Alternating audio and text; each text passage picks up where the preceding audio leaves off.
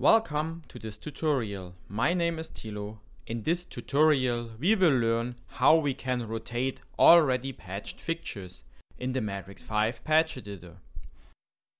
As task we will use the patch of the tutorial creating a 2D patch for DVI output with the patch editor. The link to this tutorial you will find in the description and also in the eye on the top right corner. We want to rotate the left and right 8 by 16 pixels fixtures by 90 degrees. Now let us start. It's important to know when you want to rotate a fixture in MADRIX, it will always rotate around their middle point and you will need space on the left, right, top and bottom side. That means if after the rotation the fixture will overlap another fixture or a part of the fixture will be placed in the negative range of the patch editor, it's impossible to rotate. Regarding the overlapping of fixtures, we can enable the overlap option in the patch editor, so fixtures can overlap each other. This option we will enable for our tutorial. Simply click overlap in the toolbar.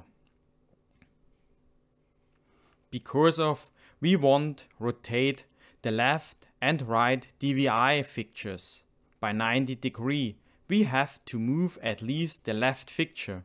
But in this tutorial, we will move all fixtures 8 pixels to the right side. Therefore, we press and hold the shift key of our keyboard down, select the first fixture and the last fixture in the fixture list.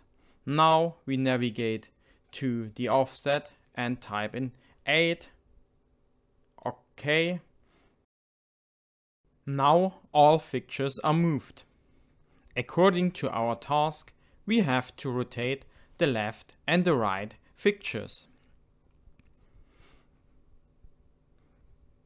To rotate only these two fixtures, we have to deselect the fixture in the middle.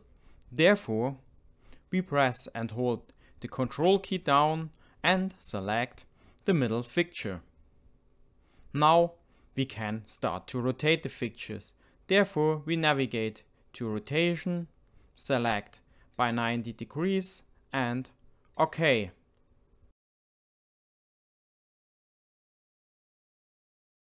In the last step of our task, we have to place the fixtures to the correct position.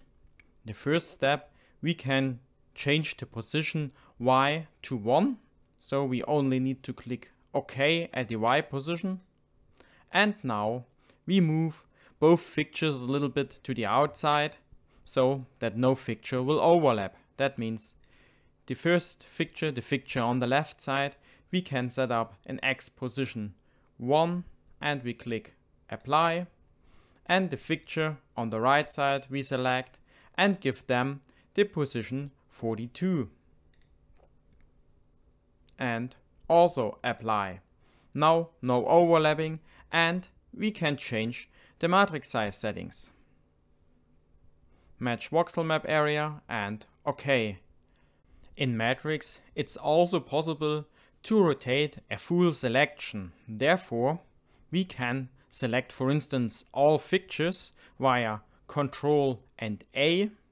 Now all fixtures are selected and we navigate to edit, rotate selection by 180 degrees for instance. So the full selection is rotated and again we can do this rotate by 180 degree now we are at the same result like the task of our tutorial. When we now close the patch editor, we can see the already prepared effects are running on the new patch size. That's it for now. Thank you for watching.